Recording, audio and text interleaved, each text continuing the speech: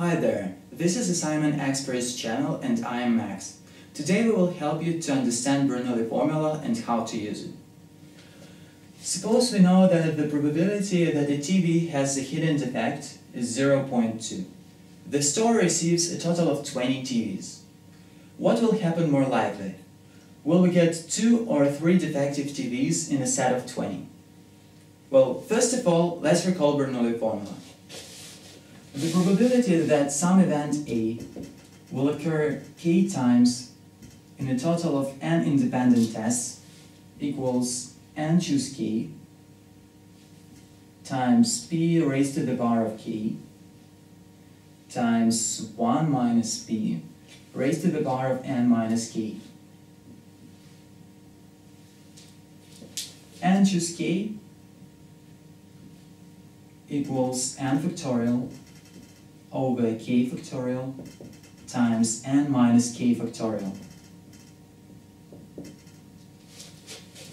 n is the number of independent tests or trials. k stands for the number of successes. And success is when event A occurs. Then n minus k is the number of failures when this event will not occur P is uh, the probability of success in one trial. And 1 minus P is the probability of failure in one trial. So here's our formula. Now back to our example. The event of interest A in our case is getting a defective TV. The total number of trials n equals 20. The probability that each of the TVs is with a hidden defect is 0.2.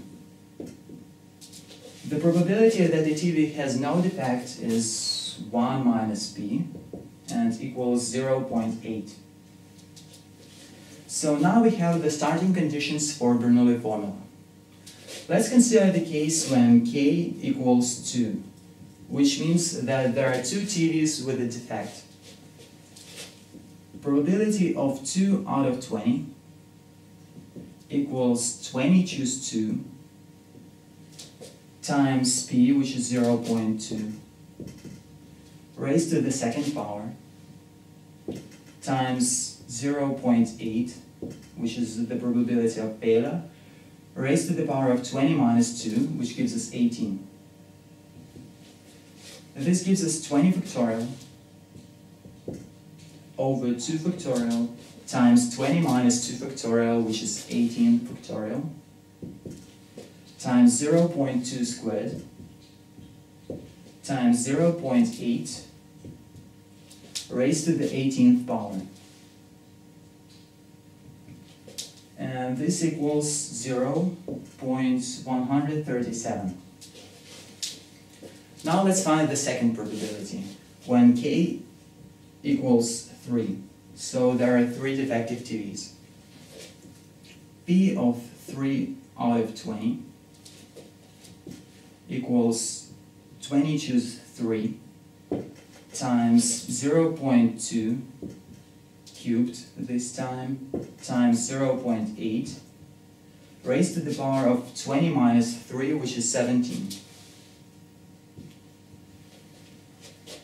Here we obtain 20 factorial over 3 factorial times 20 minus 3, which is 17 factorial, times 0 0.2 cubed times 0 0.8 raised to the 17th power.